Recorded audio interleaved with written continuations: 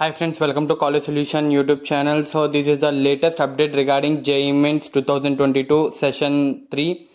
So in plea calling for the reporting on technical glitches faced by candidates during the first session of JEE Mains exam held from 23rd June to 29th June permitted the petitioners to appear for the uh, additional session to be conducted on Saturday 30th July 2022.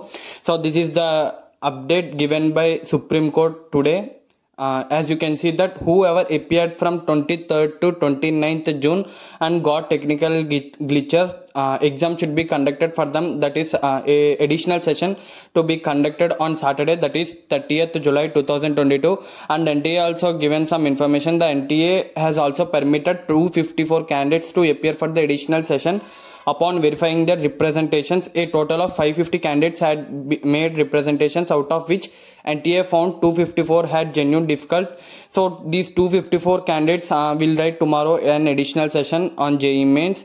So this is the update given by Supreme Court today.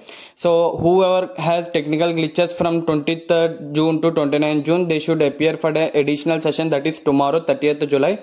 So this is the update given by Supreme Court. If you like the video and please like, share and subscribe.